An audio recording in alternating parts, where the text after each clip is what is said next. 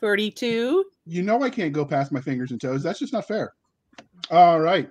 Hey, all you crazy day. sci One day, but not today. Hey, all you crazy sci fi and fantasy fans. It's time for your daily dose of shenanigans over here at the Blasters and Blades podcast. Just three nerdy veterans geeking out over our science fiction passions and fantastical fantasies. A place where magic is king, the sky is the limit, and space is the place. The podcast that puts the fun in dysfunction. So, without further ado, we're going to let our guests introduce themselves. We will start from left to right in no special order. Uh, Larry Correia, can you introduce yourself to anyone that lives under a rock and doesn't know who you are? Uh, yeah, I, I'm Larry Correia. I'm a novelist. I, I write books with uh, Baen Books primarily. I, I'm best known for the Monster Hunter International series, but I've done a bunch of other stuff like Hard Magic and uh, Saga: The Forgotten Warrior and Tom Stranger and a bunch of other things. So, uh, yeah, no, that, that's me. Tom, Aw. Tom Stranger's my happy music at work. Oh yeah, I love Tom. And uh, Steve Diamond, um, can you please introduce yourself to our listeners and viewers as well? Yeah, um, because no one knows who I am anyway, right? You know, it's not like Larry. Um, so uh, yeah, my name's Steve Diamond. Uh, primarily a horror author, actually. Um, from uh, do a lot of stuff with Baen now and uh, Wordfire Press. Um, I've written for a lot of role playing games. Um, yeah, big big time horror guy. Outstanding. The next part of the introduction, dear listener, is how we first found them. So I found Larry. I met him in person at the last HonorCon, which was what 2018, I think. And Uh, he was yeah. really nice. So I checked out his books. We were involved with a, the great debate with uh, Marko Kloos about the proper order to assemble a hamburger. I remember. I'm not sure your position on it, but it was just entertaining because you know what else are you going to argue about while people are drinking beer? Uh, and then I stumbled on his podcast, The Writer's Dojo, where I found Steve, and he amused me. So I searched out books he had written to get him on the show because he's funny. And uh, I didn't realize when we invited you for this particular book that you wrote that with Larry. So we're going to have you back again about just your stuff because why not? That's right. All right. Good to Now, meet.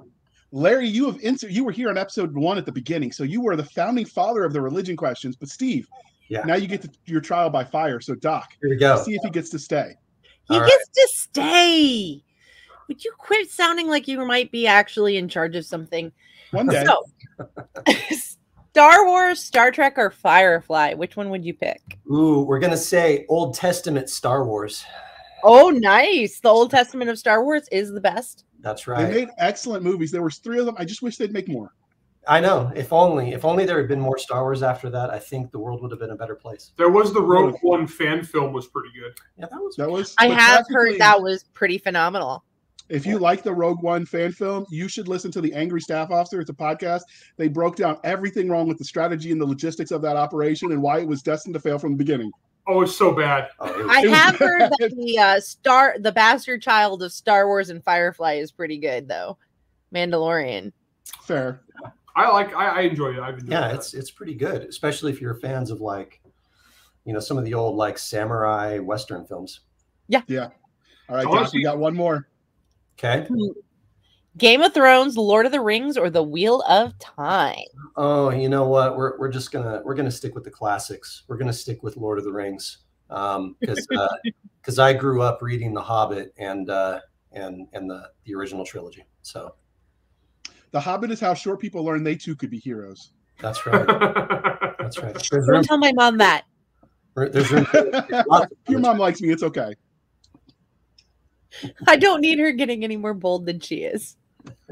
I look like one of the dwarves. Though. I'm look, looking at my picture right now. This is 'cause I, true. I haven't shaved for a while, so I'm a six foot five dwarf. So You know, I tried to grow a beard and I look like the Unabomber, so I just go clean shaven. You know what? You blend in in my family. You should have seen Larry in his murder hobo days. oh, I went full yeah, big, Yeah. bushy beard. So yeah. Yeah, it was awesome. Yeah, I look like Gimli. That's that's not a bad look. I, I approve. Okay, so and both of you guys can answer this, but which was your first love, sci-fi or fantasy? Ooh, for me, it's fantasy for sure. Fantasy. I like them both, but I I first love was fantasy. Yeah, same for me. So, what was your first memory of engaging in fantasy? Then was it um, reading The Hobbit, watching the cartoon, which was epic? The I think it was out in the seventies. Nice. Uh, what was- Looking in the mirror and realizing you're secretly a giant, Larry. no, my first my first fantasy was actually um, Elf Stones of Shannara. Oh, good one. I loved that one. My mom picked up out of a um, uh, somebody's yard sale. Yeah, it had it was missing its cover. it's a 1970s something edition, yeah, or 80, Yeah. early 80s. Yeah. So you, oddly enough, mine is very similar. It was it was the Shannara series, but I didn't get to read them. Um, it I they were up on my on my mom's shelf. She had the original three, you know, Ooh, Sword, Elf Stones, and Wish Song. And I remember seeing them, and they were so huge at at the time. Um, and then Brandon came into existence and made them all look tiny. But uh, you know, I saw them up there, and I thought, I asked my mom, I'm like, I want to read those. Those are awesome. She said, Nah, not today, kid. And she gave me, um, she gave me Lloyd Alexander, the Book of Three. And so Oh, that was actually my very first one. Um, and then Narnia, and then The Hobbit, and then I decided I was, I decided I had to read all the big books. So that's when I did Lord of the Rings and uh, and uh, Shannara. yeah. Cool. That works. I did spend a summer looking through the uh, the creek near my house, wandering around looking for the elf stones as I wandered through the through the water. Joke. That'd have been awesome. I didn't find them, unfortunately. You sure your mom just didn't lock you out of the house? Maybe there was some of that. I was like one of the last of the latchkey kids, so it was all good. All right. So now the uh, important question: What is it you love about speculative fiction as a genre that encompasses encompasses all of the things? So I'm not limiting you to just fantasy or sci-fi. boy for for me i'll take a horror take on it and that's the um i like how one there, there's the escapism aspect of it you can you can read things you you can experience things that you definitely wouldn't want to experience in real life and it's a safe environment for it um plus i mean monsters who doesn't like freaking monsters i love monsters i love seeing monsters eat people and murder things i mean what's not to love about that I will admit there's something very therapeutic after a rough day at work. Absolutely. This is why I actually write like short fiction. I wrote a story once about a auditor who'd had a bad day because I'd just gotten home from work having had a bad day. That's fair. I was an account- accountant. Fair. So what about you, Larry? What is it about speculative fiction, uh, the umbrella genre that you love? it's like the coolest job ever because I get to just make up lies and and bullcrap and get paid a lot of money for it. And it's super fun. no, I I love I love I'm just I'm a compulsive storyteller. Always have been ever since I was a little kid. Uh, and so it's just I, I love it. I just it's a hoot. And so I just kind of enjoy the entire process. And uh, I, I like entertaining people. All right. And so many authors will let their own real life experiences influence the stories they tell. So are there any specific formidable moments that you think shaped you as a storyteller? Larry, this time you get to answer first. Ooh, geez, I don't know. I uh, that's a tough one. I I, I don't have anything specific, like, uh, but I do definitely draw heavily from real life. Uh, I steal liberally from people I know. Uh, good lines, uh, funny events. Um, yeah, a lot of a lot of stuff like that happens in different books is just thinly veiled versions of real life stuff, like made cooler and funnier. So don't have any specific examples. You know that, that scene of Monster Hunter where uh, they they're they're visiting this redneck trailer park, and uh, there's an outside couch, and there's dogs sleeping on the couch. They tell the cat they tell the dog to get up. And they smack the dog. Dog pees all over the couch cushion. So the redneck's like, "Oh, I'm sorry," and he just flips the couch cushion over so they could sit on the dry side. That's your story. I actually had that happen to me. So there you go. All right. So Steve, can you top that one? No, no, I can't. Um, you know, I'm I'm a big sucker for um, for cop fiction, um, whether whether you know straight up noir stuff or like supernatural noir stuff, and that's because I grew up in a cop family. I mean, my dad my dad was a career cop, and so I I lived and breathed that for you know as long as I can remember. that's gotta be hard. Like I was a soldier spouse after I got out of the army, and somebody looked at me and went, "That's gotta be so hard." And it, they were it was a cop's wife, and I went, "No, I'd rather have him go on deployment and only worry about him for a set number of months." There was there was one time and and I and I talk about this when I talk about horror quite a bit. Um, you know, because people say, "Why do you write horror?" And I'm like, "Because it's fun," and they don't get it. And I'm like, "Well, you know, real life is is way rough compared to fiction." Um, and I and I talk about the time when uh, when my dad my dad was uh, he worked night shift, um, at the at the main jail in Sacramento for a while. And uh, there's one night when you're when you're a family of a cop, there's there's certain things you don't want to know. You don't want you don't want late night phone calls and you don't want late night door knocks, right? Yeah. Right. And so um, we got a late night phone call, and my and I hear my mom run down the hall, get out, you know, answer the phone, and then she's she's out the door and she drives off, and it happens within like three minutes. And so you know, the first thing I thought was, well, crap, did did I just lose my dad? Like this sucks. Um, turns out he just he just gotten hurt in a scuffle at the jail. You know, had had effed his knee a little bit, but you know when when you start thinking about those things and you think about the stakes of that, um, I, I pull a lot of that into my writing, and and I think that that's you know telling those sorts of stories so that you know it, it's better to read them than to live them, and Yeah. so you know so that, that- I mean I, I I pull a lot of that into my writing. I think. And one of the things I noticed since we started writing is you always think the more outrageous stuff, oh, that that would never happen. And then you hear people's stories and you're like, some of the stuff that real happens in real life, if I ever put that in a book, nobody would believe it. Oh my gosh! Yeah, tell, tell Yeah, about the um, the the my wreck. buddy. Yeah. So, so one time I got in this in real life. I got into a bike wreck and uh, I got tore up. I uh, ruined my bursa sac, my rotator cuff. I tore the skin off from basically here to here. I mean, I had chunks of gravel embedded in me, and I was in the middle of nowhere though, so I had to walk a couple miles. And uh, I did. So I just kind of walked it off. And so then Monster Hunter, I had the character fall off a car and get hurt like that and walk off road rash. And I got somebody all butthurt in the comment and the in the review is like, no one can walk off road rash. I was like, of all the unrealistic supernatural monster stuff I put in this book, the one thing the guy cried about was the thing that I had done in real life because I had no choice. It always amuses me where people's lines in the sand are about where their suspension of disbelief ends. Like, so you were with me at Dragons, but not Road Rash. Got it. yeah, it's like, uh, well, my choices were yeah, I could either walk like a mile and a half or I could lay there on the side of the road. I mean, that was Sure. an decision. I, I don't see you laying there on the side of the road for very long. No, the really stupid part was I was all tore up, and we got there, and I and I, and I, I got to my friend's house and took pictures. Uh, we took picture. We called we called the called for medical, and then uh, took photos. And uh, but I, got- I got in like these cool like fighting stances. Nice. all tore up and covered in blood. Because that's what you why do not, right? when you're like 21. So you mentioned fans, but what is the funniest fan interaction you've had? And Larry, you can't use one of the one that came to mind for you for me. Oh, geez. The one when I first met you at LibertyCon, I don't know if you remember it. It's been a few years. I literally I was so overwhelmed because I'd read I hadn't read any of your books yet, but I'd read your blog post. I literally sat there and poked my th- hand like I was pressing a reset button. and you asked me about it later, and I'm like, huh, let me explain. That was a stupid moment. You know, the only thing that comes to mind. And. I was sober and I did that. Let's see. You know, Larry and I end up standing next to each other at conventions quite a bit, selling books. And there was, and, and it's obvious the people who who have actually seen, Alphabetical order. you know, they've they've seen Larry. They know who he is, usually.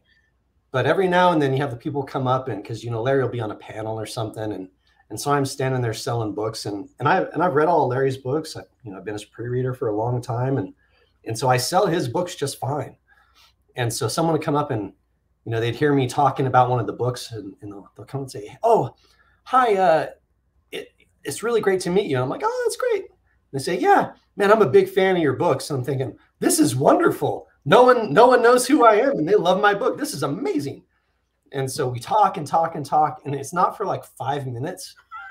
And then so, suddenly I realize, oh, they think I'm Larry. and I say, and then you know, you have to. There's like the awkward transition of, oh, you're not Larry. I'm like, no, I'm not. But here's my book. Do you want to buy it? Like, I mean, we've.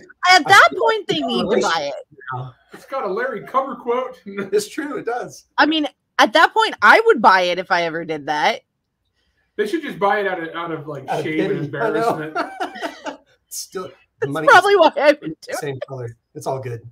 No, no, I've had some. I've had some weird fan reactions. You have, yeah. I've had. I've had a, a lot. It's hard to think of something particular.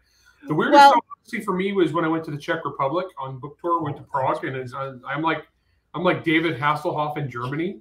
So I'm like, I'm okay in America, but in the Czech Republic, I'm like a rock superstar. And so I had all sorts of weird stuff. Like people were coming up to me in the bathroom for me to sign stuff while I was in the bathroom. Uh, That's a little awkward. They'd come up with like a eight by ten glossy photo of me to sign There's jokes there somewhere. girls would come up and ask me to sign their cleavage. My while my wife was there, and so every time I would like have the sharpie and I'd look at my wife and she'd be like, like okay, it's like she's like they're fans, you may, and I'm like,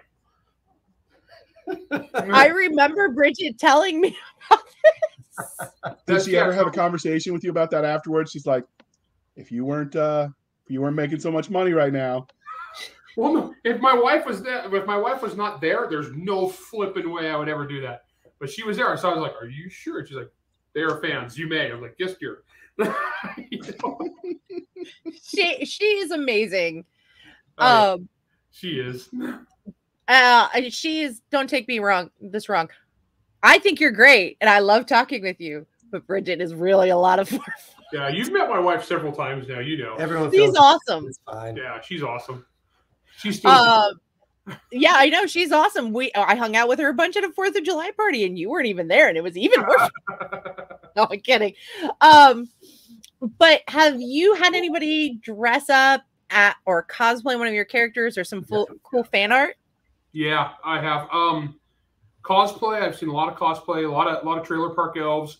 A lot of different takes on Monster Hunter armor. Uh, you you do some great descriptions, I've had no. which really does help a cosplayer out, man. I've had cosplayers like cosplay from some of the from of the Facebook gags like Cookie Monster. I Uh, remember. we had we had tactical Cookie Monster at Dragon Con one year. Um, I do fan remember art. that one. crazy amounts of fan art, tons and tons of fan art, paintings, art, um, Gosh, I tattoos, well, like all sorts. I know. I have a picture of one of the tattoos. My favorite though was when Larry cosplayed as a Krasnovian, those evil scum. Atropian lives matter, I'm just saying. That was hilarious. We And can't for even those who keep, Atropia, you know, we can't even keep Krasnovia. We can't even keep up on all the countries we've had genocide with. Yeah. and for those who don't know, it's a fictional company, a country the U.S. government invented just to play out war games for our soldiers. And then when he It did did that as a gag, Facebook, author, fantasy authors, apparently. yeah, still- and uh, they kicked him Well- off of Facebook for a while because he said it was hate speech because he was making fun of a fake country. that's I what I was gonna say. I appointed So myself funny. ambassador of Krasnovia and started talking trash about all the other training center countries that we had beat up. And I was like, you know, we are a Krasnovia, we are a great and proud nation, primarily known for our sandwiches and genocide, but mostly sandwiches. And, and I actually got, and I, one time I referred to um, Pineland. I was attacking Pineland, and I referred to it as Doc Woolrab, and I referred to Pineland as uh, filthy Pinelandian goat rapists. And I got kicked off of Facebook for a month for for hate speech against an imaginary country. Uh, I remember that Dragon Con. There are many ribbons about uh, I stand with Krasnovia. No, so I started doing video updates from the Gulag, where I was like wearing a big Russian furry hat and a great coat, and I was and I was speaking with my terrible Russian fake Russian accent, and I was in my basement, my unfinished part of my basement, and I was just like giving these updates from the Gulag. And then when I got freed, when I was able to go back on Facebook, my wife took photos. So my son dressed up in a Russian gas mask, had an AK-47, and was wearing an Adidas tracksuit. And Oh, as that is he's like escorting me out of prison, as I'm like, I can't see. This. I remember that picture. My wife was lined up on a tall ladder, so it looked like the picture was coming from a helicopter. That was awesome. I'll, I'll try to hold back the helicopter jokes. Oh So- man, so bad. All right, So what about you, what- Steve? Anybody who has cosplayed your horror characters yet? No, I mean, I mean, I guess if someone wants to come as a corpse, they can. But, uh, So You know. every zombie is really from your books. They just don't know it yet. yeah, that's totally legit. Yeah. We need So- Servants of to take off because there's some pretty baller Dude, cosplays. that'd be awesome. If we got an object, if someone Oh needed an object. gosh, that'd be amazing. Yeah, but they need they, they, they have to do like one of the big Iron Man suits, like they do for Dragon Con, you know, where they're like 12 feet tall. Yeah. And all Oh fully yeah, That'd be awesome. the But, like, Warhammer Marine suits are like 3D that. World War One kind of pseudo steampunk magic robot suit. Oh my, come That'd on, be that'd be rad. so cool. I want to do that, but that would cost like 10 grand. I So you're already tall enough for that, so you don't really need to. Can you imagine me on those stilts though? If I wore those like the electric stilt feet? You know, you mentioned Dragon Con, and there's an amazing cosplay competition that is specifically for people who are doing cosplays from books. Hmm. Oh, you Now. got a book category now? Oh no, it's its own competition called Page to Stage. Cool. That's cool. Yeah, I might know the people who run it. Oh yeah, you know a couple people at Dragon Con, I imagine. I run it. Yeah. All right, Doc, let's get this show moving so we can talk about the books. Let's yeah. talk about. I want. I do want to ask them, unless you want me to cut it. Their No, no, first keep time going. when somebody asked them to sign a book. What was that like? So for me, it was in when was that? When did we crash that World Fantasy? Was that 2011? 20, 2010.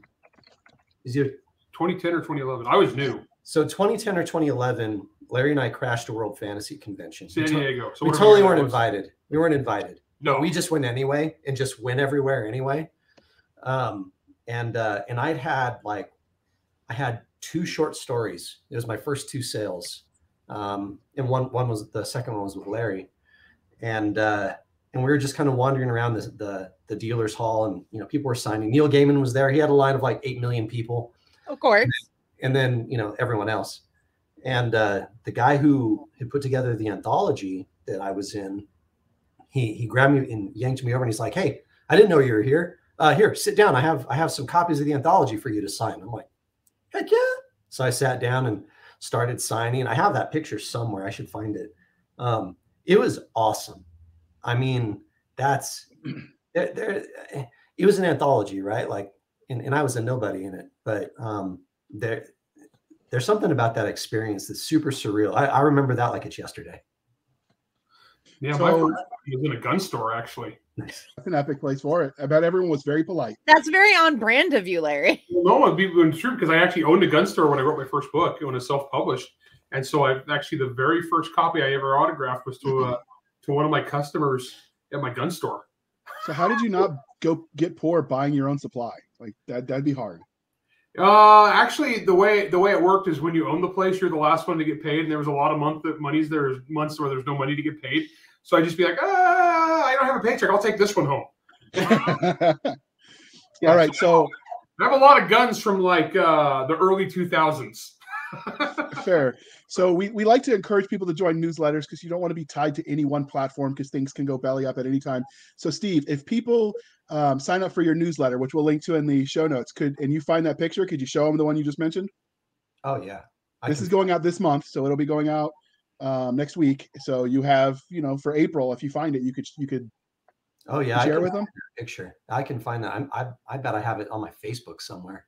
Outstanding. All right, Doc. You get one last question That was a before we great. talk nerdy with books. Yeah, that was nuts. I was I the love yeah, talking yeah, about Paul. Wilson. Oh, that's right. I did. I geeked out. and I met that's Paul Yeah. Wilson. Yeah, Because he's awesome. he's awesome.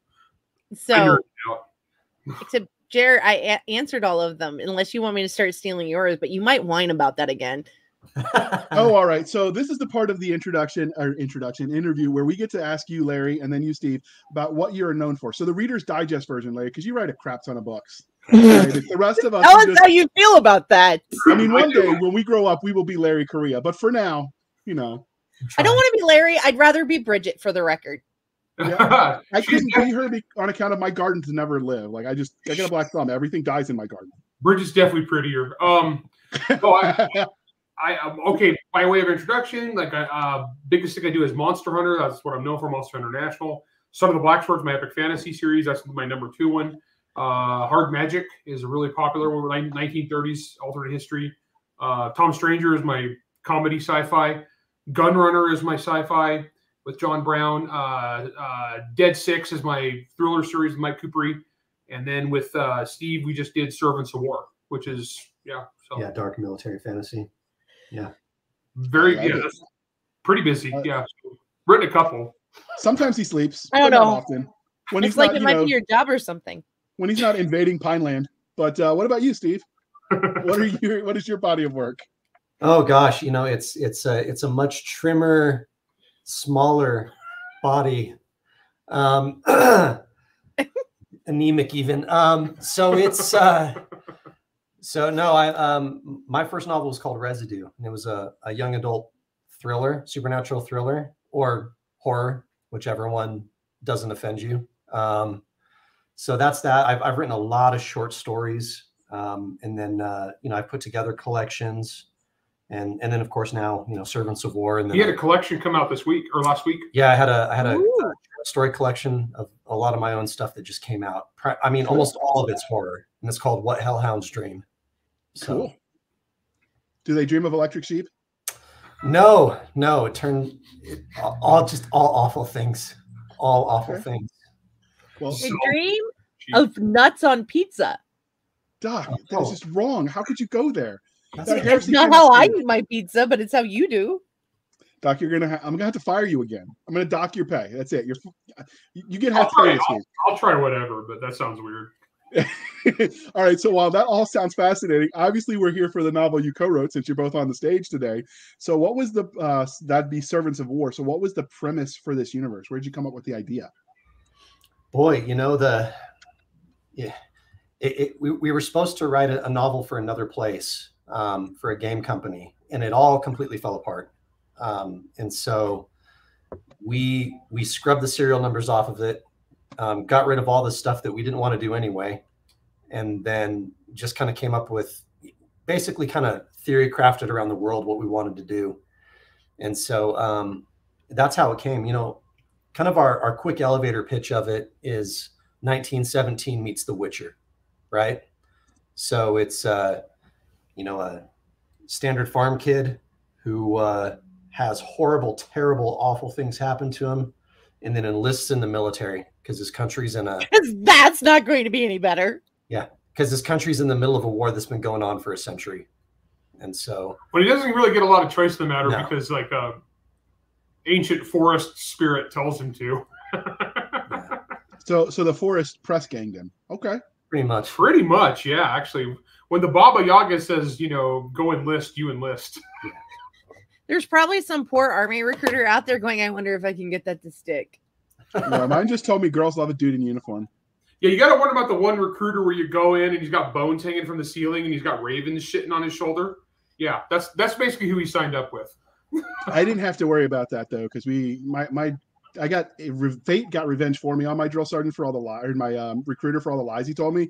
Someone after while I was at boot camp, he got arrested for sleeping with one of the wives and daughters. They were of age, don't worry, of one of the people he put into the army. So he, the army got even with him. So I'm like, ah, karmic justice.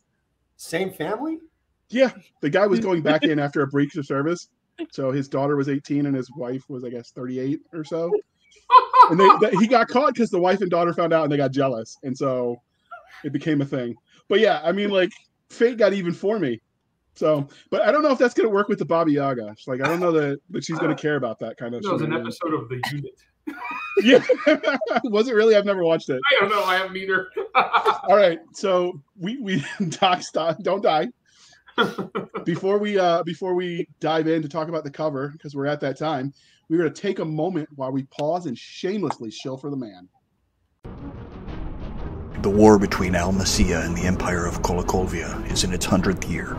Casualties grow on both sides as the conflict leaves no corner of the world untouched. Valerian Glaskov's quiet life on the fringes of the Empire is thrown into chaos when an impossible tragedy strikes his village. When he is conscripted into the Tsarist military, he is sent to serve in The Wall, an elite regiment that pilots suits of armors made from the husks of dead golems. But the Great War is not the only, or even the worst, danger facing Valerian, as he is caught in a millennia-old conflict between two goddesses. He must survive the ravages of trench warfare, horrific monsters from another world, and the treacherous internal politics of the country he serves. Servants of War, new military fantasy by Master of Horror Steve Diamond and international bestseller Larry Correia.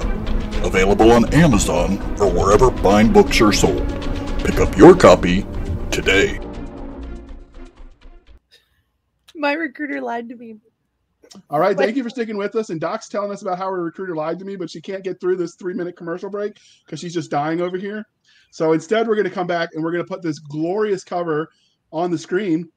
And uh let me get that. See, my recruiter told me as a medic I wasn't likely as likely to end up in a hospital, but then he told my mom the other thing. So Well, see, the they like to tell the National Guard that they'll only deploy us after the women's auxiliary, but before the Boy Scouts. So, like, world peace was going to happen in '98. CNN did a special, so I was safe.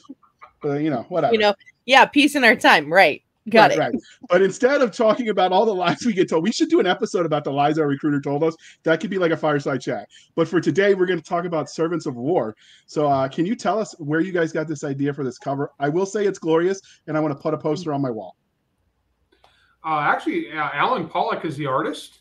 Um, and so when we were describing kind of like what the aesthetic was, um, we, we referred him to the the Polish artist. Um, oh, I can't say I can't remember his name. Oh gosh, what's that guy's name? Pretty famous artist, and we just like we that's kind of the aesthetic here we were really enjoying.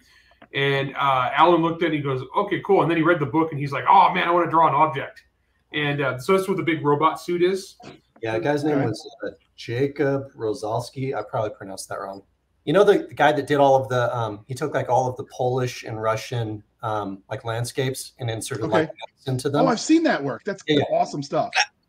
yeah. Yeah. So we we wanted we we really wanted um, something of, of that mindset, um, and we were describing it, and then he came back with this, and we were like, "Hey, that's good." We actually made one change to the book too because of this little behind the scenes. You notice, object only has three fingers. Right. and uh, we never like mentioned like like how many fingers the actual robot suit had and so we totally changed it and uh, it actually makes sense because on the gun side you would disconnect your, your your trigger finger was outside the controls and that is actually what operated the gun hence why it had three fingers so actually alan alan made us put a cool gun detail into the book yeah, that is awesome. So, did you lean in then to the sort of Russian Polish folklore, or was that just coincidence for an art style? big time. It was. This is very Slav, uh, Slavic folklore inspired, heavily borrowed from stuff. Oh yeah, Yeah, we. yeah, super heavy. Yeah, basically, if it's from some dark forest anywhere east of Estonia, we we were stealing stuff from it. Oh yeah. yeah. I mean, I we- love how honest you are about that.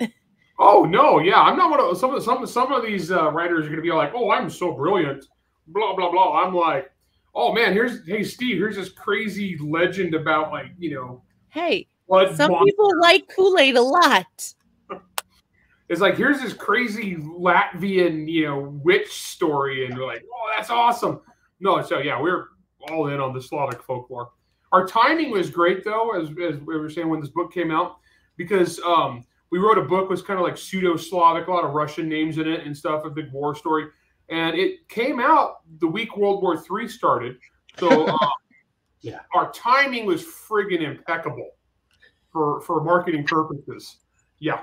To, to be fair, though, our guys are fighting for like evil pseudo Russia. It's not like they're fighting for they're fighting for the good guys here. Half the book is them being abused by their own crappy government. So, oh well. our timing was great. Yeah, I couldn't have planned it. Good grief. Okay. Yeah, that So, what is your 30 second elevator pitch for this book? Yeah, you know, I, I think we just say, um, let's see how I phrase it. I'd say, yeah, this is this is The Witcher meets 1917, where the main character is thrust into a war where gods where gods are the biggest problem, but then the second biggest problem is just enduring a war. So Yeah. something along those lines. dark. so, is it more fantasy or sci fi? Oh, oh, it's oh, fantasy. It's fantasy. Yeah. So it's Okay. dark, dark fairy tale magic world, World War One in the trenches. Yeah. Uh, with guys fighting, you know, crew served giant suits made out of dead golems. now when you mention World War One in trenches, does that mean like gas warfare as well? Oh, Oh, yeah. yeah. Gas warfare is a huge part of this book. That's a huge part of All it. you have to do is let JR eat Brussels sprouts. You'll have plenty of gas. Oh man, no, there we have a scene where they're testing this stuff, the Almatian death smoke, and uh, they test it on a field of sheep. it's so horrific. Yeah. That's one, those, So, it's one of those scenes where you see that Steve's a horror author. I had to actually when I went through and edited it, it was like, oh dude, this is too messed up. I gotta like take this down a little bit. There are a few. so can you can we like pay extra for the copy where the horror was amped up more? Oh my gosh. Well, we, we still have the original draft. We could sell that for charity. Yeah, serious. there was a lot. There was a lot there was a- that we pulled back on. there was a few places where it was just like it was just a little too dark. I didn't want to like like I didn't want to scare some readers away because my stuff is usually kind of like you know rated R for violence and but it's it's still kind of hopeful and it's more action adventure. Man, Steve had some dark stuff in here, like dark, dark psychological horror stuff, and a lot. It's all, it's all still there. I don't think we took Yeah, anything no, we out. just toned it down a smidge. There was just a few descriptions where I was like, let's have like, or as we did, as we've now used the term that we've used to describe this kind of thing is less rats eating people. I mean, that's a step up in the right direction, I guess. Well, that was like our knob. Is like how is, is- we decided that was like the description was like like like level of rats eating people on any given scene is like some scenes were like eleven, and we had to turn them back down to like a seven. You know. All right, but are there scenes where people are eating the rats? Oh, no, I Oh, did that in Tom no. Stranger. I'm aware.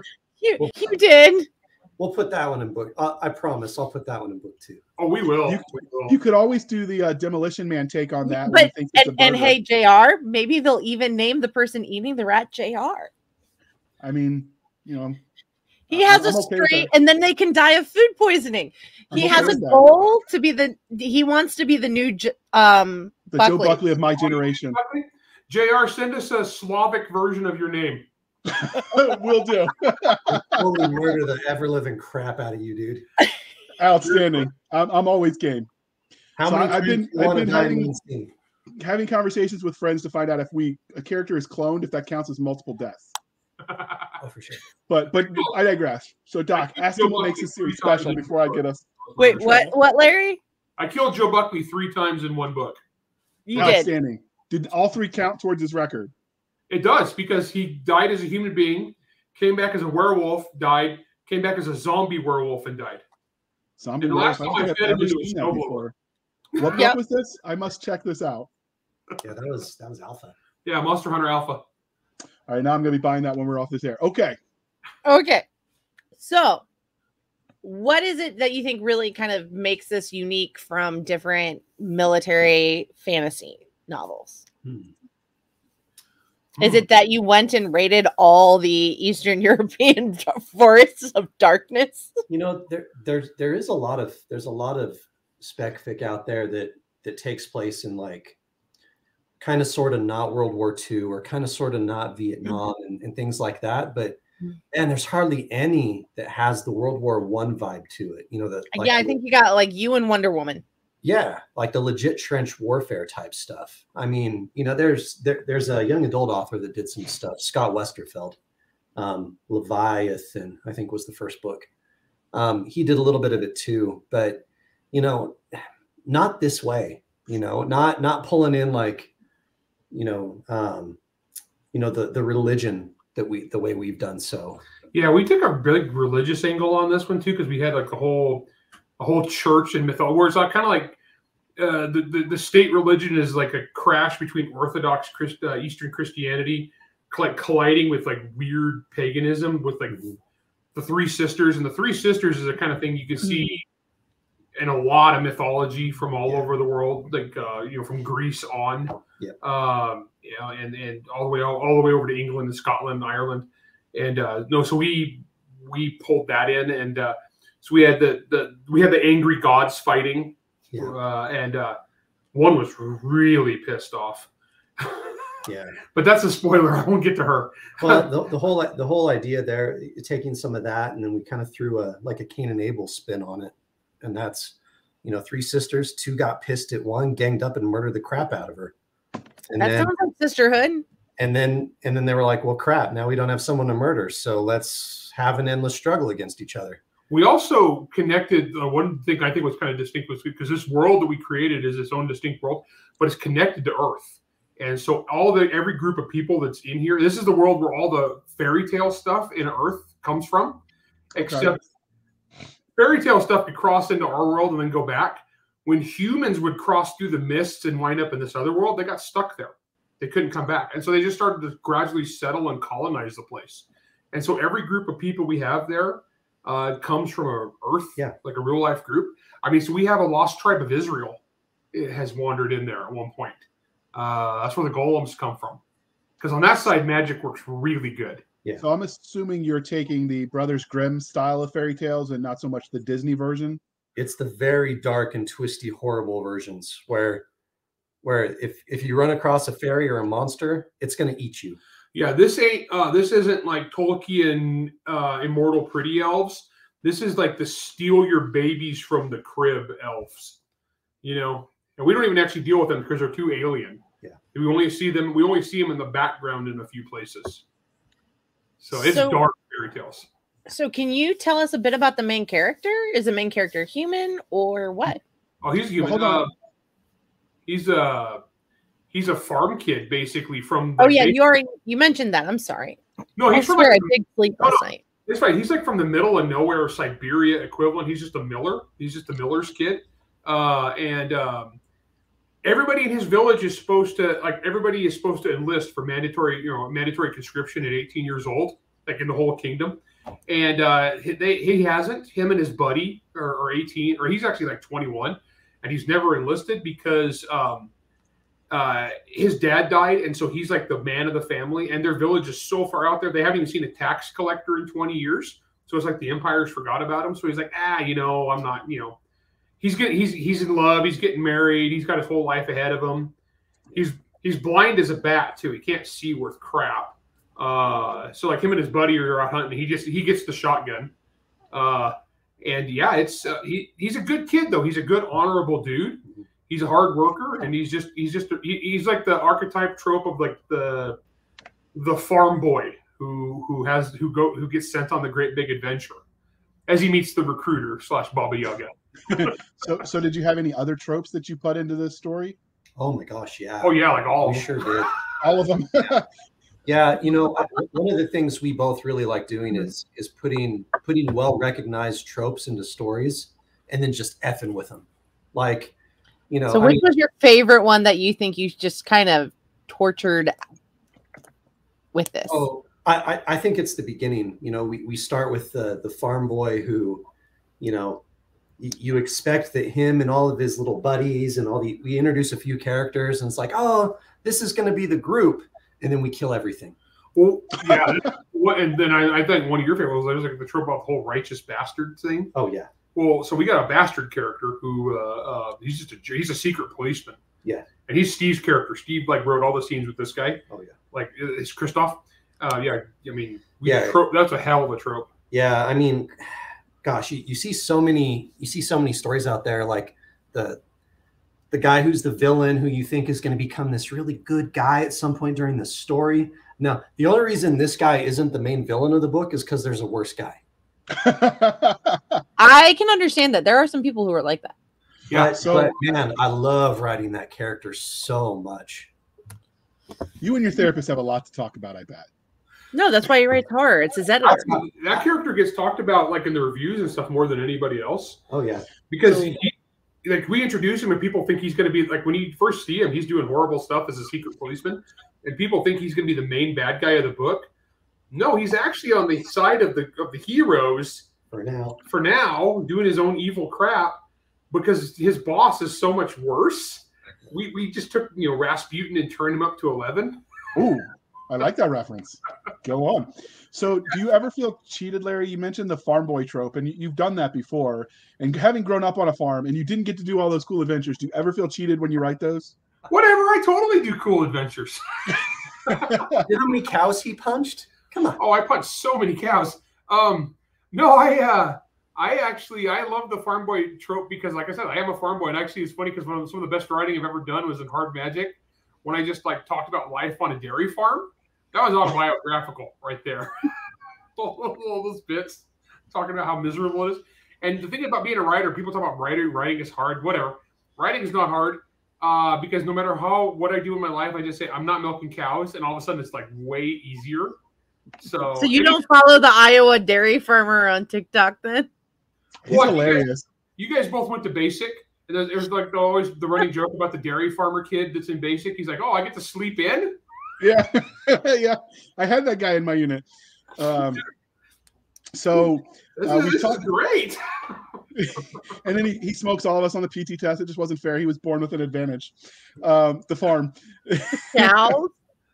Yeah, Well, it's, cow- like, it's like having it's like having caveman gym, fourteen hours a day, your whole Right. life.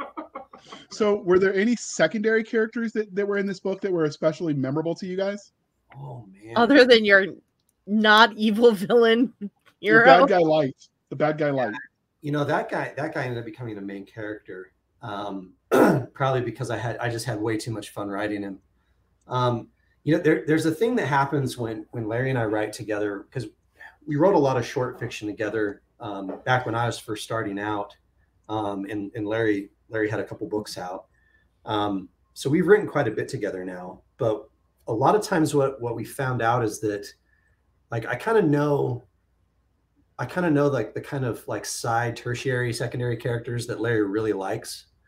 And so um, I introduced one in this. He's uh he's basically the the guy who who uh, who builds bullet who who make who like you know uh, puts together the ammunition for all of the all the rifles and stuff for all of the snipers and who invented one of the guns that that goes on the on the objects in it. And I and I wrote this character as just a throwaway and, but as soon as I'd written the character, I thought, oh no, no, Larry's going to really like this character.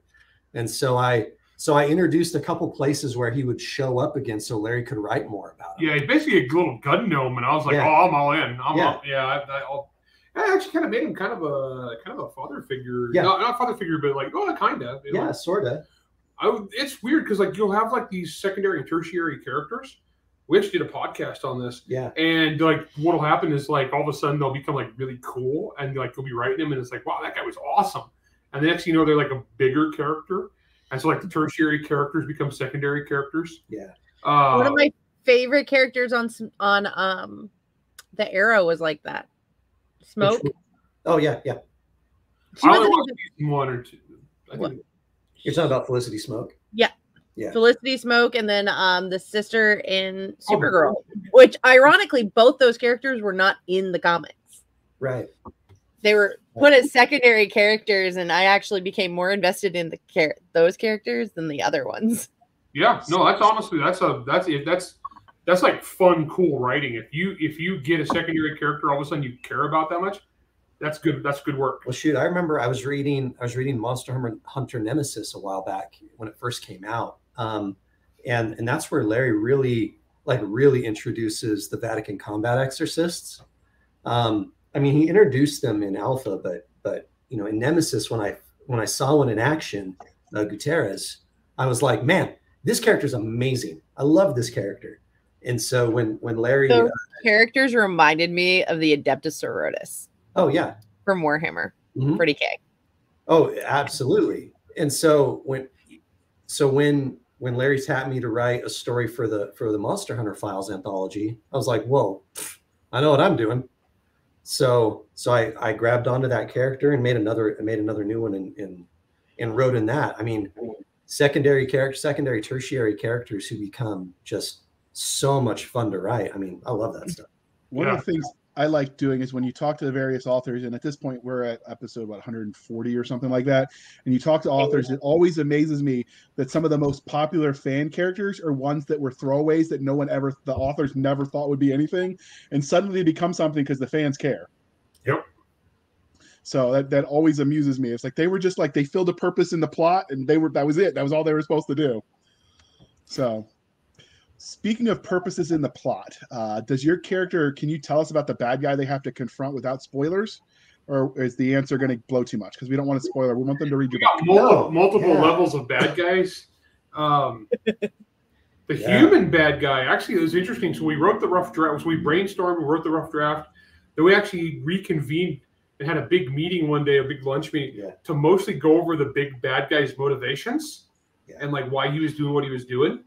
Uh, and then we came back and rewrote it for the final. And man, he got so much more evil. Oh yeah. yes, I think you know I, I, like having bad guys at varying levels and varying complexities because what it does is it just it, it, it allows you to to just completely mess with your characters on different levels. You know, some some are just a bad guy that that prevent them from you know progressing a little bit in life or whatever and then there's ones that's like, oh, this dude's going to kill you. And then there's the bad guys that's like, well, this person will end your entire existence because it's a god.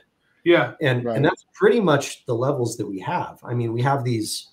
Well, we got these the, sister gods. yes, we got the gods who are just like they're one of them, horrible. They're horrible. They're horrible to each other and horrible to their people. Uh, but then we have like the human bad guy um, who basically wants to invade hell to steal all the souls of the damned to power magical super weapons. Yeah. I mean, as you do on a Because Saturday that night. sounds safe. Right. Yeah. Yeah, so he's the second tier villain. If that's second tier, I hate to see, So, see what so the next tier is. clearly, you gentlemen have outdone yourselves on evil villains. And speaking of evil villains, JR tried to steal my question, my favorite question. And I'm stealing it back because I caught him. If your characters found you in a back alley, Oh no. what would they do if they knew you two were the ones who put them through all that? Oh, man. jeez. We get our butts kicked so hard. Oh, Um,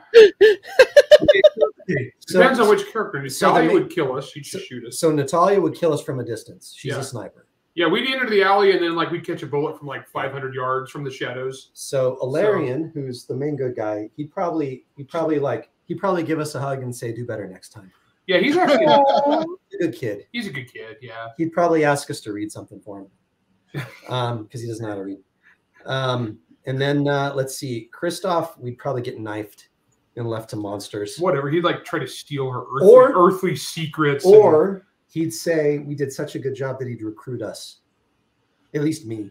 or he, I, I'm not sure you want to be recruited by. he'd probably he'd get to Earth. He'd steal my credit card, use it to buy a bunch of AK-47s, and ship them back to Kolakovia for to, to win the war. Yeah, So, and then he'd Yeah. say he invented them to take all the credit.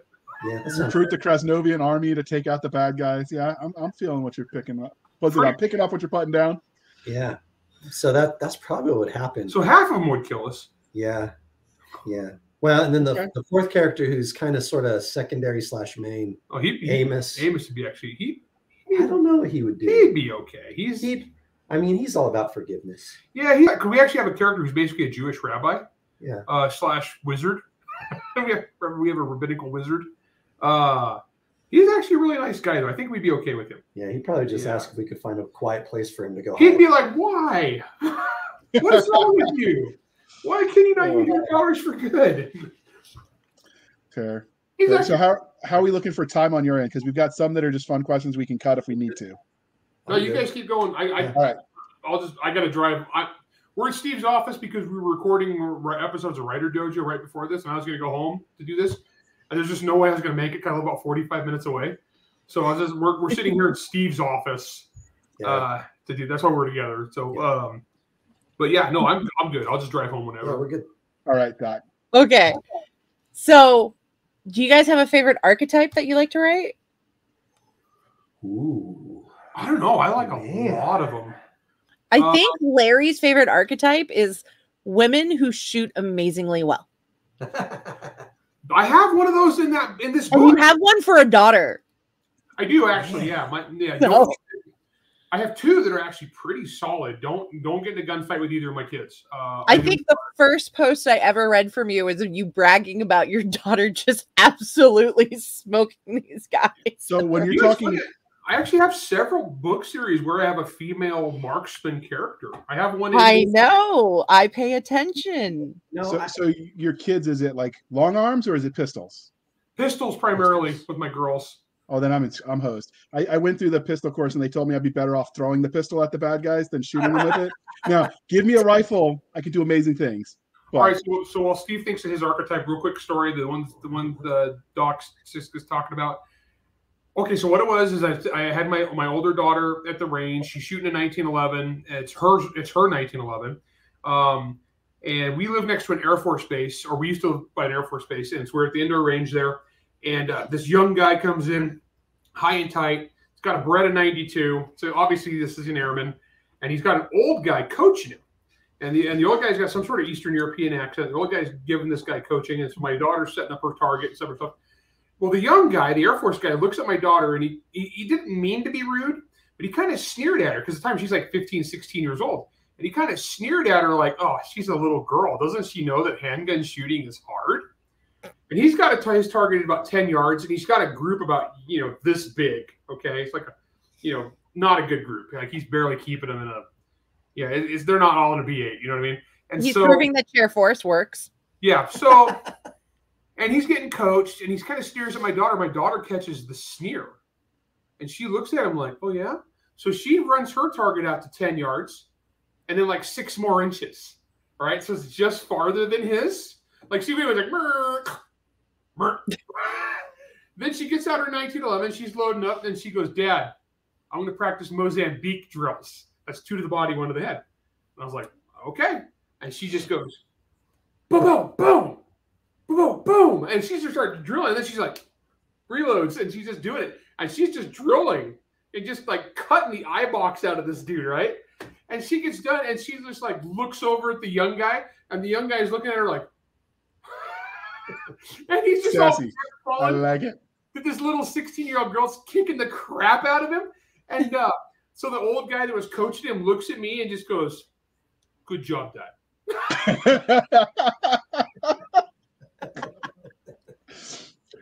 It was so funny. Oh, that's proud of her. All right, so archetypes, yeah. Gosh, you know, I don't know. I I love I love writing dirt bags. That's probably it for me. I Looks love, like you got a lot in this book. I, I love writing dirtbag characters. Um, I, I just do, because because they get a, you know, it, it's kind of the, the very Machiavellian type where, where as long as they get the job done, it's good. That's it. And so I, I love writing those types of characters. So on a scale of zero to Joe Abercrombie, and then at the far end would be like George R. R. Martin. How dark is this novel? Ooh, so uh, uh, it's it's not it's not Joe Abercrombie or Mark Lawrence. Um, Okay. It was, but we pulled it back. Yeah, you were probably at least Prince of Thorns dark. I was Yeah, definitely- You, you were actually darker. I was I was darker than Prince of Thorn. I was probably darker than than than um, Blade itself overall. Yeah. Um, but uh, I mean, yeah, yeah, we were there originally because because our Christoph was very much the Glokta character from from from uh, from First Law trilogy, Only not all physically jacked but up. just not physically jacked. Um, but uh, we we ended up pulling it back in a few places um, so that it wasn't like super grimdark. Um, if if Joe Abercrombie's like an eight, then um, this is probably a six. Yeah. Okay. Yeah, because like Martin, I, I think is just I don't I don't I don't it's just so nihilistic. Yeah, So we're not nihilistic though, because we still like No. we're because most of the books through the perspective of a guy who is legit a hero. Uh, yeah. You know, I I learned a lot from from an author named uh, um, Joe Lansdale. He was one of my my favorite authors and people everywhere. Um, and he said that, especially for novels, that that your horror doesn't mean anything unless there's light to counterbalance it. And so, um, so we we take that tactic a lot. And frankly, that's that's what Baen readers like anyway. You know, they they need they need heroes and they need they need hope, um, or at least the prospect of hope. And so that's that's very much what this is. Yeah, so we get pretty pretty friggin' dark, but we also have the main character. We go back to a guy who actually is the best of them. He's or he's, He's- trying to be the best He, of them. he is a good good guy. he's a good guy. don't get me wrong. I, I I love Abercrombie. I love Mark Lawrence. You know, I was a big R. Scott. I was a big R. Scott Bakker fan. Um, I, I've read all that stuff. I love all that stuff. You know, Glenn Cook. Um, the biggest compliment someone gave us is when they said, "This is like Glenn Cook." I'm like, "Yeah, heck yeah, it is." Um, but uh, you know, I, I love all that stuff. But I think we're getting to a point in time right now where that's all fine and dandy, but I kind of want to have David Gemmell heroes again.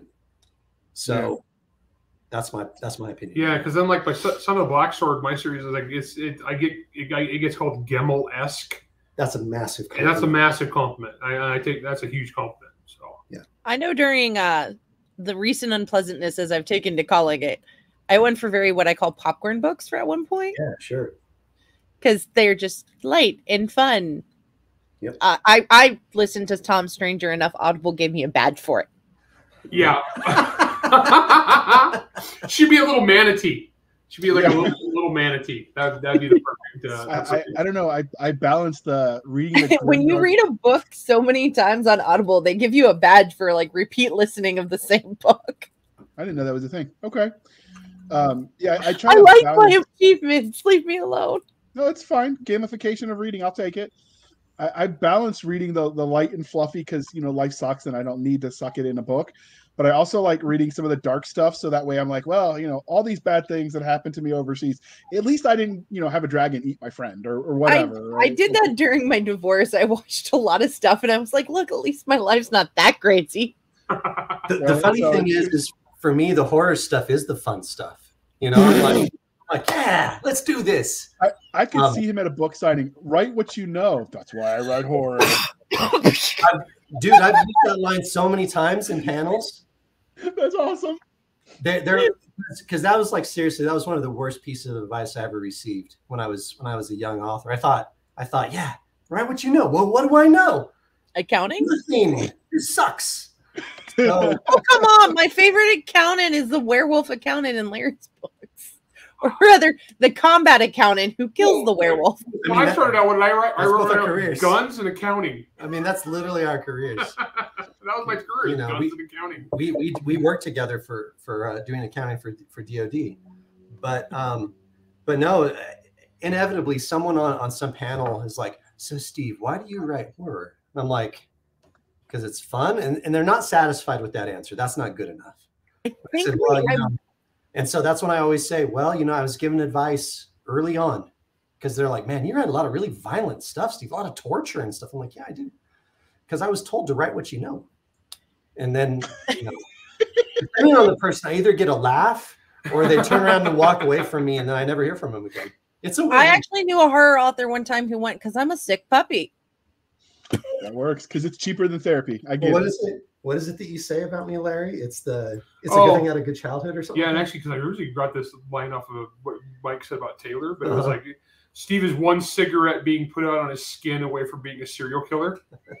All All right, I- so- I'm really super glad that Steve's parents are really nice people. that you know of. Have you checked their basement?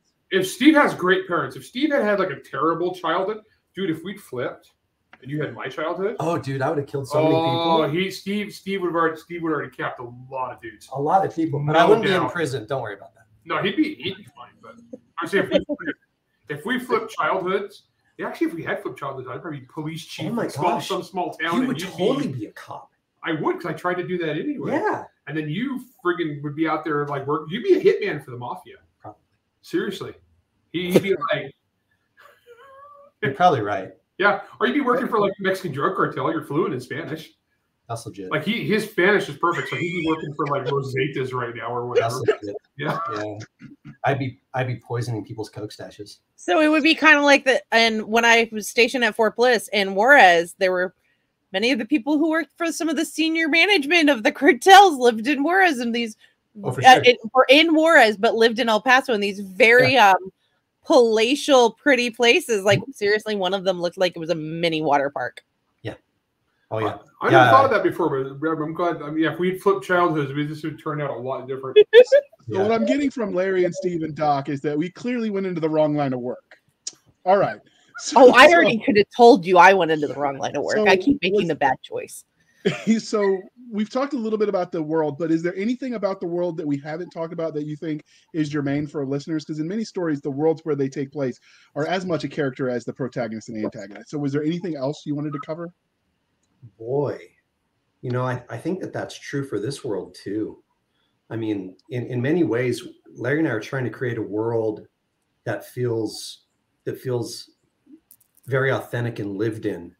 Um, you know, I, I was watching the Wheel of Time series on Amazon. I suffered through it, and uh, and the the entire world, for some reason, I don't know if it's the way it's shot or whatever, but it all feels it all feels so sanitized.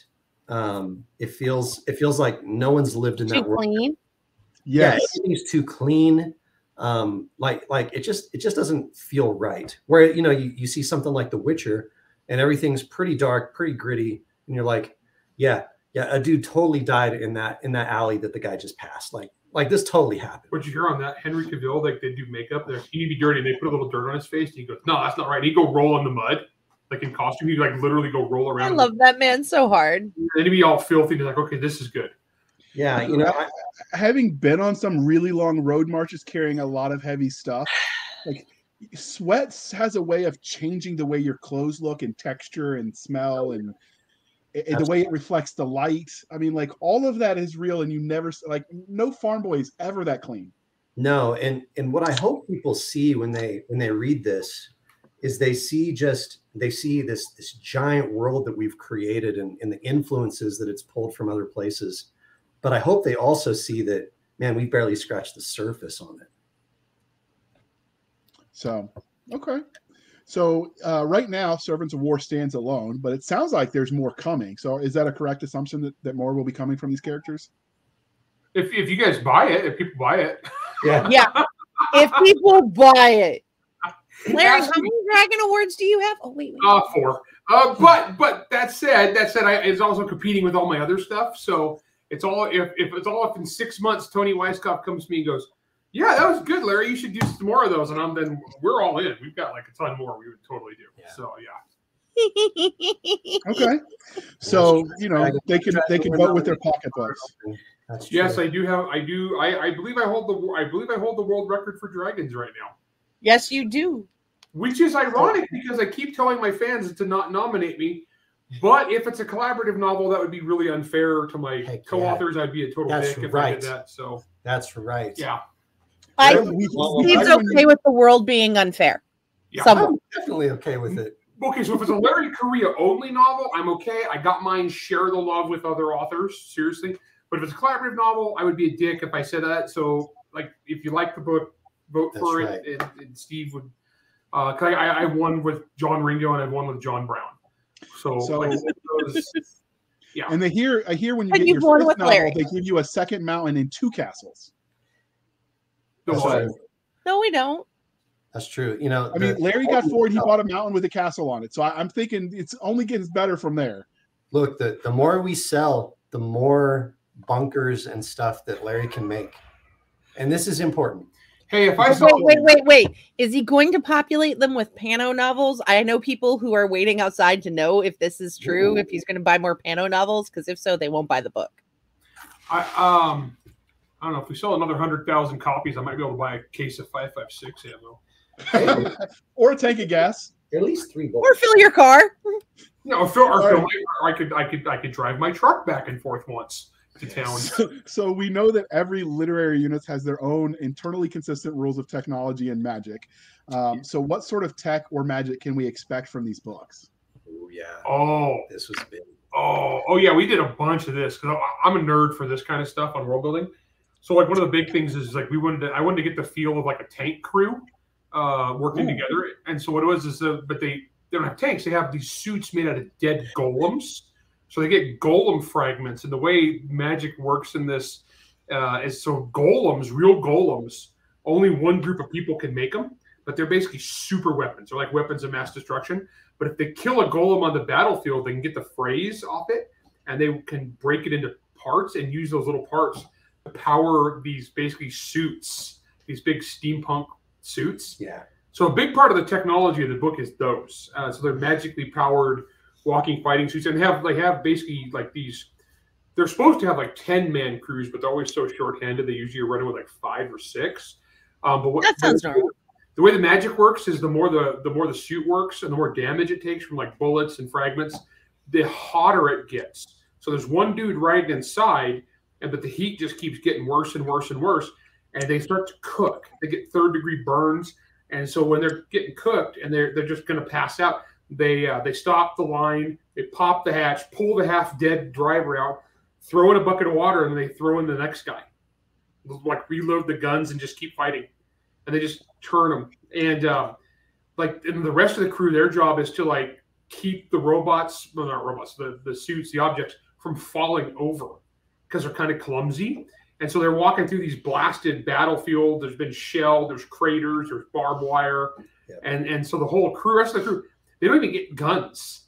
The rest of the crew, they have shovels, pry bars, chains, uh, and they're getting shot at. There's explosions going off, and they're up there like, "Hey, I got to move this board."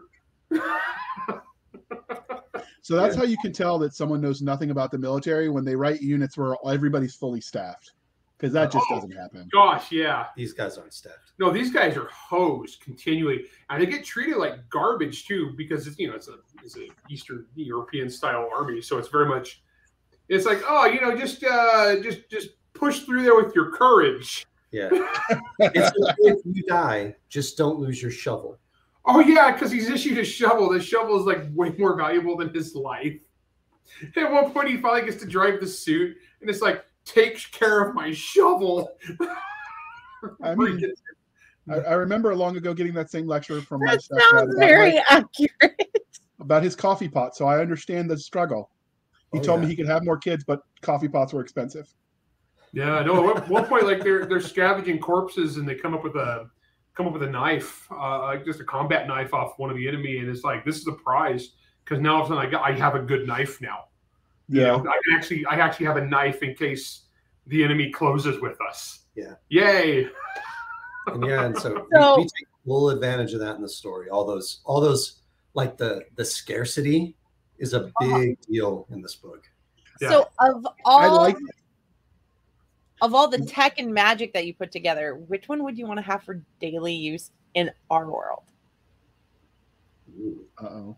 The horror writer's gonna give us something. I Yeah. Know it. Honestly, honestly, I don't want any. I, I would not No. want anything from this world in ours.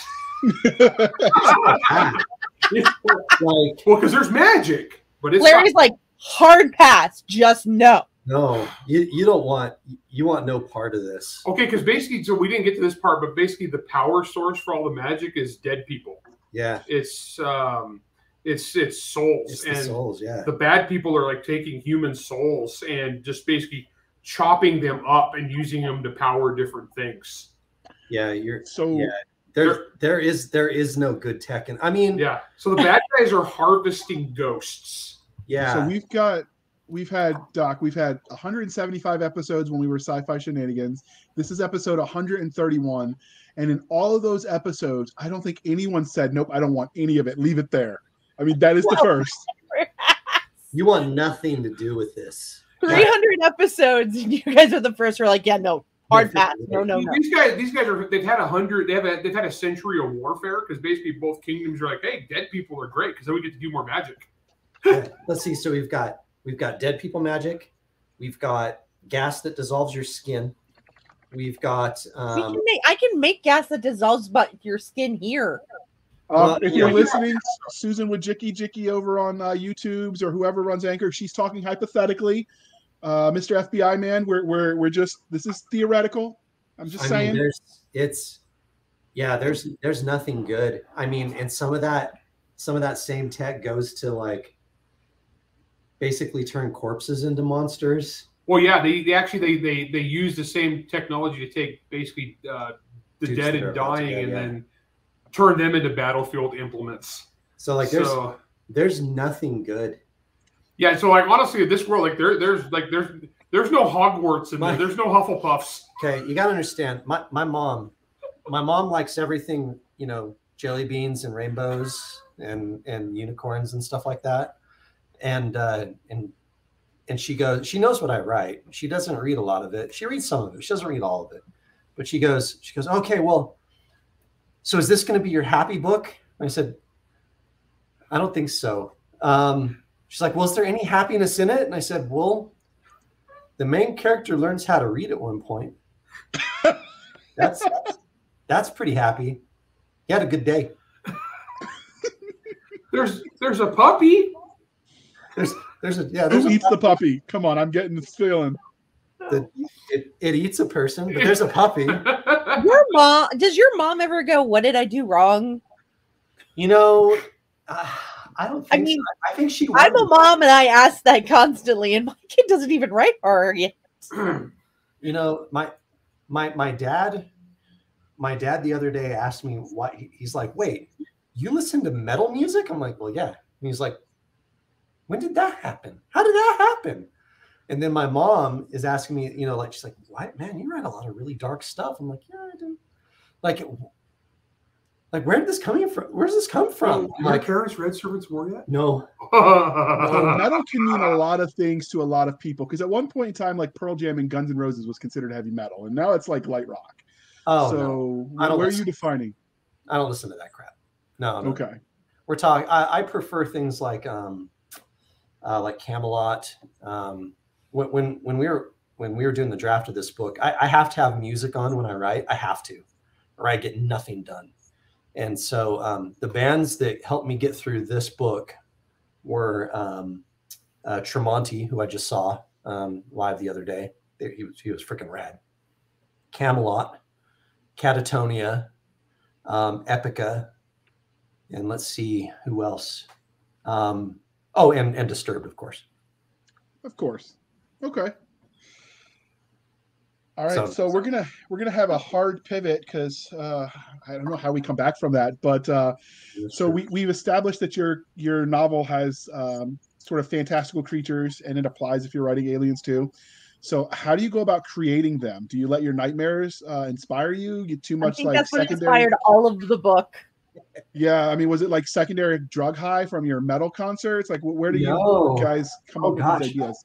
I, I just love monsters. Um, the the monsters, the actual monster monsters that are, that are in this book, I think I did all of them. You could, you you can. Well, I, I actually I did one thing that was darker. I made the bird things at the end. You did that. That was grosser. It was way what I so Steve had these really monstrous bird thing when they're in hell. Yeah, we they go to hell at one point. Um, they march through hell, and that's a hell of a road march. And um, they, yeah, it's pretty.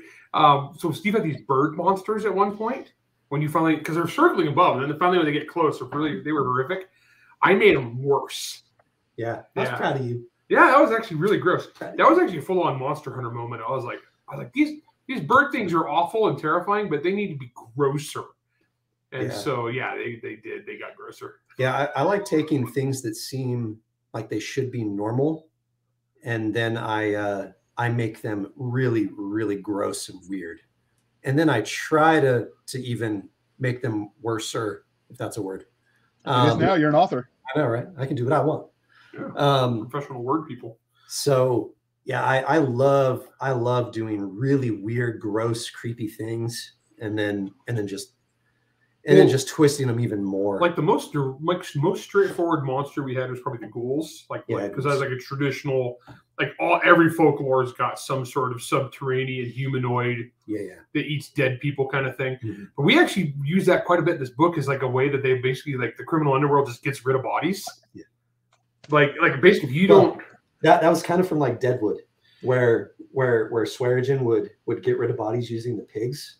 That that's totally where I got it from. But but yeah. but with ghouls. It's like if, actually we actually added some religious stuff because like if you don't want somebody to get eaten by ghouls, you have to perform like some religious rites Yeah. over them for consecrated ground. Otherwise, yeah, you just leave a. If you want a body taken care of, just leave it out. It'll be gone in the morning. So speaking of eating horrific things, how do you feel about pineapples on pizza? I'm okay with it actually. I, I Figures the genocidal Krasnovian would be. Okay. Here's what you got to understand about Larry. Larry likes everything. yeah, I'm the worst person to ask food. None of my friends will listen to me on No, food. no, because he he thinks all food is great. Now that's wrong.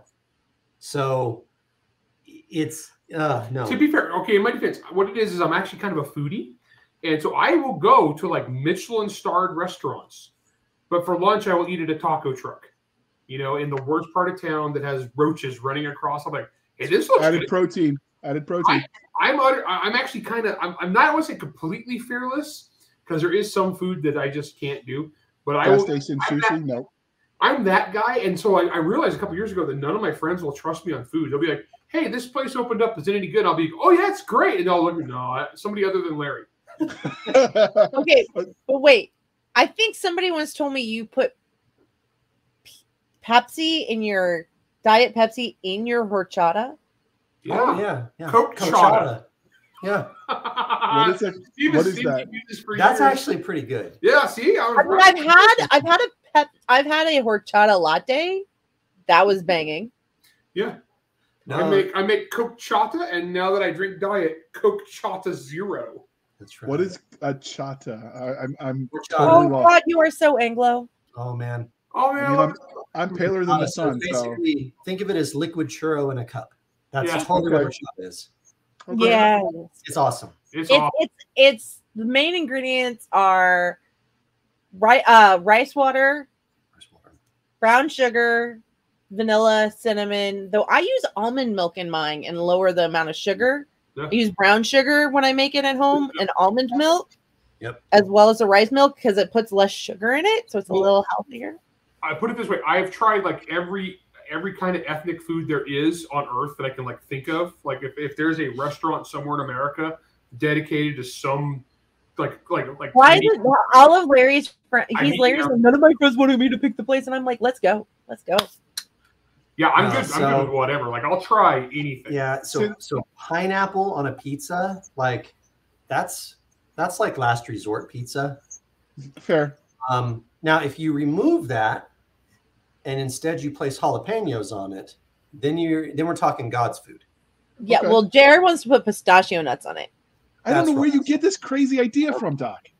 So, so speaking of food, be- before we wrap this up, did you actually include any of your foodie stuff in this novel, Larry and Steve? Not no, at this- Not You kidding me? book. No one has food. I know it's like here's your potato. They're they're ration lines. Okay, so they had liquid potatoes. Okay, I'm, I'm a good. yeah, oh, that. there is actually a lot of drinking. I mean, they There's- drink a lot. That's about the only consistent thing within the book. that Well, because if they don't, basically, it's like it's like it's, it's like they, they just keep plenty of alcohol because the water the water is all crap too, and so they drink a lot of booze, and plus it keeps its rebellion down. to be fair, that's how it was when I lived in Mexico. So Okay, or any army base. You know, we just drink a lot of stuff. We actually we actually do have planned for the sequels. Yeah, should that should uh, should we get to do yeah, where they go to the other country and they're like, holy crap, what you just buy food at a store? yeah. what? they just buy food? Outstanding, outstanding. I I'm gonna definitely. In fact, I was to type in the doc in the side chat. They were definitely gonna have to get this book and do a book review on it because I'm I'm interested. Wait. I don't think they have any audiobooks. So, JR, you're gonna have to brush up on No, your it's, reading. it's an Oh, it's an audio. audio. Yeah, it's an audio. Is it an audio? I have not listened to it yet. Even I I have not had a Maybe, chance. maybe that's what Audible was trying to tell me when they told me I had a new book downloaded. Oh, cool. So Yeah. I, there are some people who I have on like just auto buy, like Faith Hunter. I love Faith. Uh, That's great. Faith's I, great. I, I, when Audible did their 85% off sale, Right? yeah, that that was dangerous. I bought so many things. In my I bought- commute, in my commute's less than ten minutes. I bought all of Soulwood and finished it in less than a month.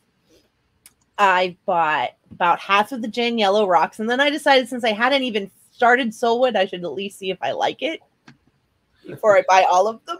Well, Faith, uh, Faith is awesome. Faith is super cool. Yeah, Faith, I, I really want to meet her one day. One day. You haven't met Uh, Faith? Oh.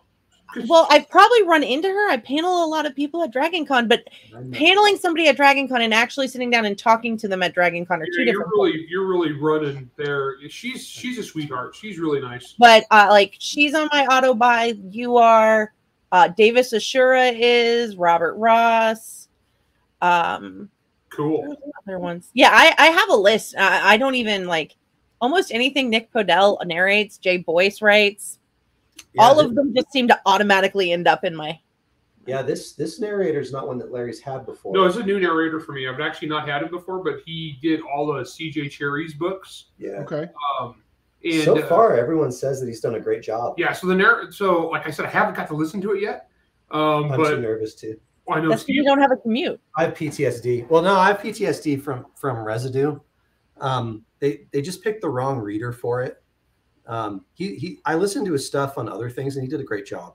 But on my book, it was just a miss, um, and the it was actively hurting my reviews. So like like it was hurting sales, and so I I ended up pulling it. So now I'm I'm on the lookout for someone who I can pay to read this thing. Well, and like on, on for me, I, I'm currently working on on number four on the Son of the Black Sword. Saga Right. Forgotten Warrior. I can't listen to my audiobooks of a different series while working in a different series. that's That fair. makes I can see that. It causes too much brain shift Yeah. because each of my series is really different as far as tone and voice. Uh, so I have to finish this book I'm on, then I can listen to something else. Yeah. Otherwise, I get all screwed up, and all of a sudden, next thing you know, all my characters who are Indian start talking with you know Polish accents. That would be awkward. I mean, I might pay to see it, but that would be awkward. Ashok gets a shovel and a potato.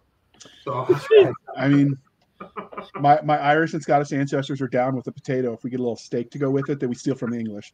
Um, so clearly this interview is winding down, um, and Doc's going to fall asleep here soon. But was there anything about Servants of War that you wanted to tell us that we didn't ask before we wrap this up? man, just freaking buy it and read it. Hope people like it. Check it Yeah, out. I, I I think people are really gonna like it. I'm really proud of it. Yeah, it's it's awesome. The reviews are excellent. Actually, the reviews are really, really good. Yeah, really, really good. Well, your commercial that you play on your writer's dojo is what said made me reach out to do this interview. So if it's anything as good as that that audio commercial, like people are going to dig it. So Yeah, Yeah, Jack Jack read that. Jack did an awesome job on that. So, but uh, Jack did some professional pretty awesome job on Oh, pretty he- much anything. Oh, it's so, so so our podcast would be utter crap if it wasn't for him. In fact, he In almost fact, died. it, in fact, it was utter crap for about three episodes. He he Jack got COVID real bad, and about died. He he got really really Yeah. sick, and uh, Yeah. yeah, he he and so we we Steve tried to tackle all the the editing and producing while it was bad news bears all over. Like it was it was rough. everybody's like, "Wow, your sound is all stupid and terrible and bad this time. What's wrong with you? Sorry, You're so amateur." It's like, sorry, my bad. Jack's in the hospital. We suck. Our sound our sound guy's almost dead, so Steve had to fill in. And Oh. he's not dead. That's the main part. No, no, no, no. Jr. We let J- we let the numbnuts who's colorblind do all and brain damage do all the editing. and hard of hearing. Who knew getting blown up a bunch of times was bad for your hearing? So, but this is Weird. the so- VA says you're fine. Just change your socks and take some Motrin. That's right, not service connected. Those 27 IEDs had nothing to do with your health conditions. Uh, my favorite was the neurologist that tried to tell me the brain damage was all in my head, and I'm like, you think? Yes. Where But, else? uh, it be? No, it's in my foot, doctor. he didn't last very long at the VA. The, the Vietnam vets are sometimes very colorful in their um, voicing their opinions on certain staff members. So if you upset them, it tends they tend not to stick around. A good, So- a good, a good friend of mine, a good friend of ours works at the VA, and he's got, he's he's actually got a really hard job. It's, They do. Yeah, So- it- he's he's stuck between a rock and a hard place working for the government. It's it's the government, so I feel bad for the dude. He tries, he works really hard, but I play but- with chemicals for a reason. So one of the things that Larry mentioned is that to determine whether they're going to write a book two is how much book one sells. But once, uh, in addition to buying the book, one way you can help the authors is to please be kind and speak your mind on the reviewing platforms. Your reviews help the right readers find the right books. Even a bad review can sell somebody if it's like, oh, I don't like this, too much guns. I'm like, dude, sign me up. My favorite review was for, one of mine, but was a 12 year old with ADHD wrote gun porn. I'm like, out freaking standing. Can I use that as ad copy? So, you know, obviously we like good reviews, but reviews in- in general help. So do your thing, people. Hey, my Alright. I actually picked up a book because they went. It's a Laurell K. Hamilton book, her new one, and somebody and a review went not enough sex. I went, okay, that sounds like I really could read this at work. One you blurred. did you see that I'm the back cover blurb for that? Yes, I did. did. We're going to do a review episode on that one. I got to read. I got to read the very first early, early rough draft. Yeah, Laura. I, I thought it was really good, and I could definitely see knowing you and having read both your works, I could see some of your influence with it. No, I loved it. I thought it was great. And like you said, she basically what she was is, and so yeah, it's not as sexy as Anita Blake because you know that that freaks out a lot of people. Uh, but so she wanted to go more with this series, more like original, the first few Anita Blake books, where it was a little more. Yeah. yeah, yeah. yeah, yeah, yeah. I mean, I, I like Anita Blake, and I've read all of them, but there is something really special about some of the early novels of Anita Blake. My mom also used to send me to school with like guilty pleasures and made sure that my teachers knew I was reading it. Yeah, so I was actually really, I was, I was actually pretty honored when she was. It's like, actually read the it's not as bad. Oh, Steve is making a face, but guilty pleasures is very, very tame. It's just the name because the names are all about locations. So I, I, I, I, I thought it, I, I enjoyed it. So So that will be uh, coming up soon as a book review episode that we're going to do. But uh, as we bring this home, and I'd like to actually review this book because it sounds outstanding. We just got to get Nick to actually read again. But uh, Steve Diamond, can you tell listeners how they can find you? And as usual, it will be in the show notes. Yeah, you know, I, I think the best place is to if you actually want to get in touch with me and have me respond, um, grab just grab me on Facebook or on Twitter. Um, that's probably the easiest ways. So Uh, you're the you're the Facebook face because we know Larry gets banned. I'm probably banned at any given. I'm banned Yeah, right now. I, I so I'm I uh, I, I tend to to be pretty uh, closeted. I don't I don't I don't really get out on social media and say anything very ever. Um, so um, so I, I tend not to get banned because I just don't say anything. I, me on social media, I'm like the loud guy taking my shirt off to fight people. You know what, though? Melta got banned on TikTok for not saying anything. Outstanding. All right. So speaking of uh, your your band on Facebook, Larry, but uh, where can people find Larry Correia if they're not on Facebook? Your Um, default- blog is monsterhunternation.com. Uh, I'm on Facebook sometimes. I'm on Twitter, uh, Correia45, uh, or Monster Hunter 45, sorry. And um, uh, basically, also, Steve and I do a podcast Yeah. called Writer Dojo. And uh, that's available. It's a writing podcast. It's just like uh it's just for writers trying to, to be better writers to get paid. Yeah. And uh, we're in our second season now, but that's available everywhere podcasts are Spotify, Anchor, uh, Apple. Uh, it's on YouTube also and Rumble. we, Yeah, it's- we've shared it in our group, actually. So And It's Doc been- actually gets a shout out in the uh, in the sponsorship ad. in one of them, I did. Yeah. I didn't know. Jack's like, I need you to check out this episode. And uh, you can find us, dear listener, over on the Twitters at twitter.com backslash SF underscore fantasy underscore show, Sierra Foxtrot underscore fantasy underscore show. You can email us at blasters and blades podcast at gmail.com. That is blasters and blades podcast at gmail.com. Uh, be nice because Cisca answers that one mostly because she books the show for us. You can find us on Facebook where all the shenanigans happen at facebook.com backslash groups backslash blasters and blades podcast. Again, backslash groups backslash blasters and blades podcast. You can find us on our website at anchor.fm backslash blasters tack and tack blades. Again, anchor.fm backslash blasters dash and dash blades. We promise one day we'll get a grown up website, but just not today. Uh, you can also support us over there for as little as 99 cents a month.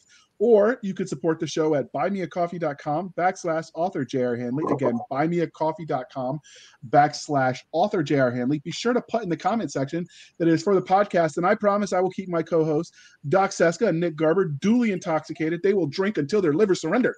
Never surrender. By the way, JR, my cup's broken. All right, we're gonna have to get people to donate some more so you can get another cup. I'm the sober operator because apparently all three of us podcasting drunk is just bad. Who'd have thunk? Who knew? All right, Doc, bring it home. Okay. Thank you for spending some of your precious time with us. For the absentee, addle-brained Nick Garber and J.R. Handley, I'm Cisca. This was a Blasters and Blades podcast. We'll be back same time, same place, maybe. I don't know. Well, let's see see who doesn't land nav. Uh, and indulging our love of nerd culture, cheesy jokes, all things that go boom, and of course, torturing JR because why wouldn't we? Wait, am I the addle-brained one or am I the absentee one? Uh, you're something. All right, well then.